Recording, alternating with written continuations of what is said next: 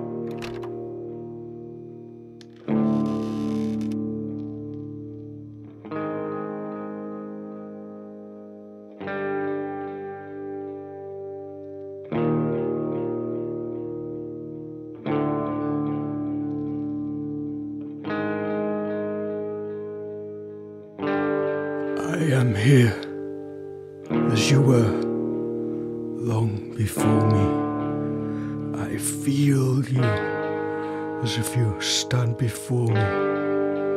I, I look into your eyes. Come inside, come inside. Let the people in, let them in. Share the venom, share the drink. Let them feel you. Let them know you. Let them taste you. Open the doors like I couldn't, like he won't, because he is too afraid. Invite them, as they're already there. They want to be there. You live alone, but you're not alone. Everyone is with you. All you have to do to shine a light and turn over the spiral is open the doors like I couldn't and he won't. Open the doors. Please, I beg of you. Or you'll undergo the same fate as me and him, your loved ones. Save us. Set us free.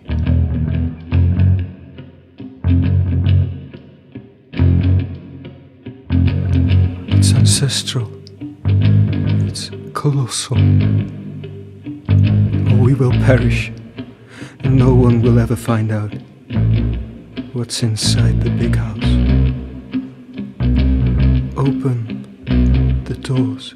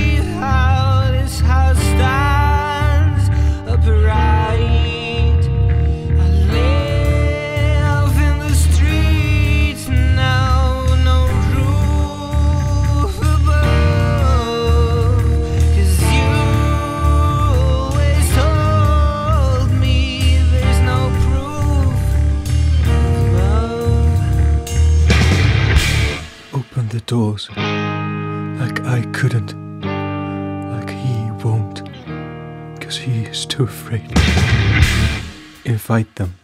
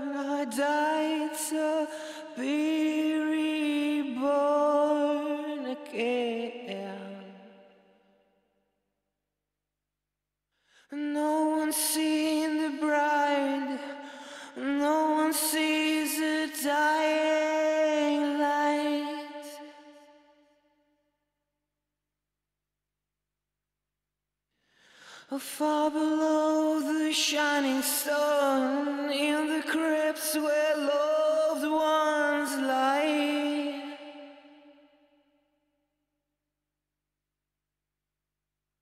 Oh, maybe they can be saved by the mother's cry.